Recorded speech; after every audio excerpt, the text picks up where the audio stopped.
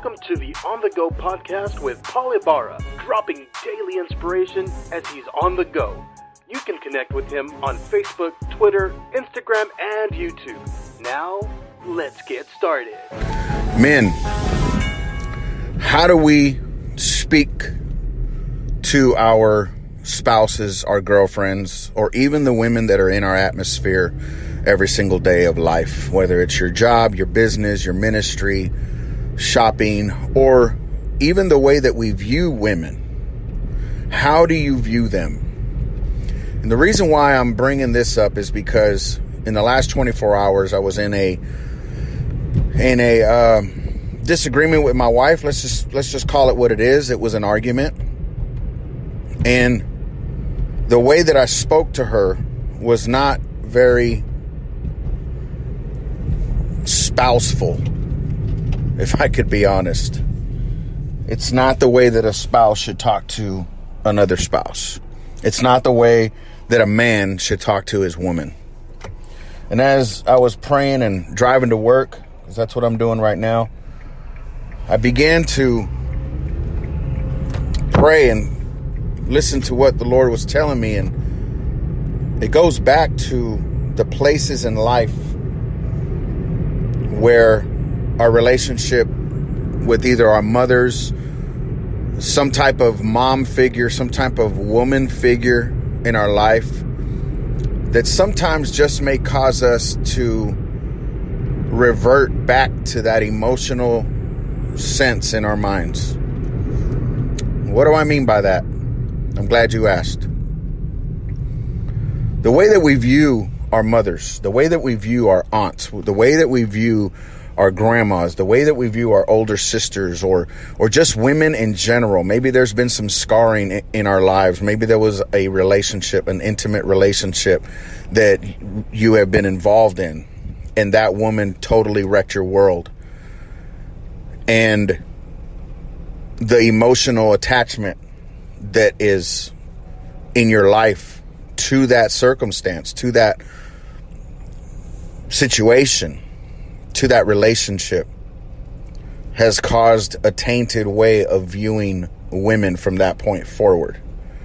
Maybe there was some abuse as a child from your mother. Maybe there was verbal abuse, sexual abuse, emotional abuse, the emotional detachment. Or maybe there was some defiance between you and your father, and you saw the way that your father treated your mother, and so you just tend to treat women that way. And that's what God began to speak to me and started downloading in my life, in my mind, and in my spirit this morning. That the way that I view my wife is the way that I view women in general. The Bible talks about women to wives to submit to their husbands, but it also says to submit men to submit to Christ as well because Christ laid down his life for the church. And so we ought to be laying our lives down for our wives. And so, in this mind shift, in this mindset this morning as I'm driving to work, I begin to look back and I think, you know, my mom did the best that she could.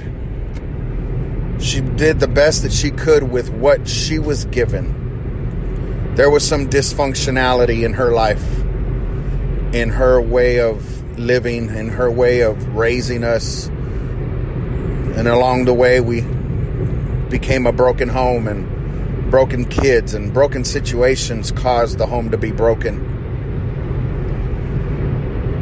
And so, as I look back at that, and I look at all my aunts, and I look at my uncles, and I see the dysfunction, I see the generational curses that have been in our in our bloodline, in our families. It's time that I, as a man, as a pastor, to view not only women, but people in a different way. And so I just want to encourage you today to really dig down deep.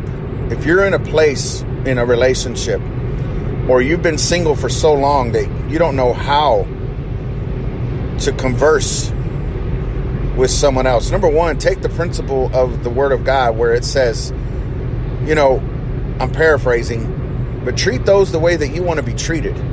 Do unto those the way you would want them to do unto you. The Bible says to love your brother. Love God with all your heart, mind, soul, and strength.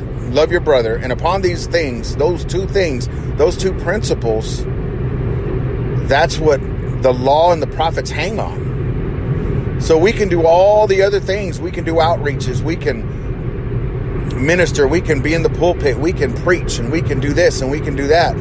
But if we don't have love in our hearts, the truth is far from us. And so as I am driving to work right now, and hopefully this is all making sense to you as men, understand that the principle in life of life is to love.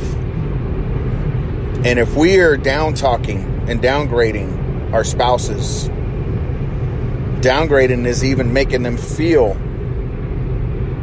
stupid, even though our t- our intention isn't to do so.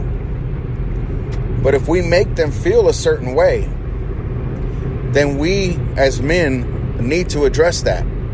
It's time for us to man up.